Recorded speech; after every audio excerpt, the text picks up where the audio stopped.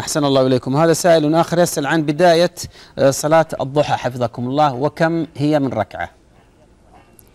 بداية صلاة الضحى من ارتفاع الشمس قيد رمح إلى أن تتوسط الشمس في كبد السماء وكل ما تأخرت فهو أفضل.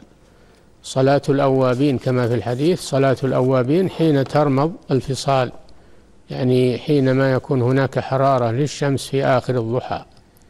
وعد وأقلها ركعتان وأكثرها ثماني ركعات كل ركعتين بسلام. نعم.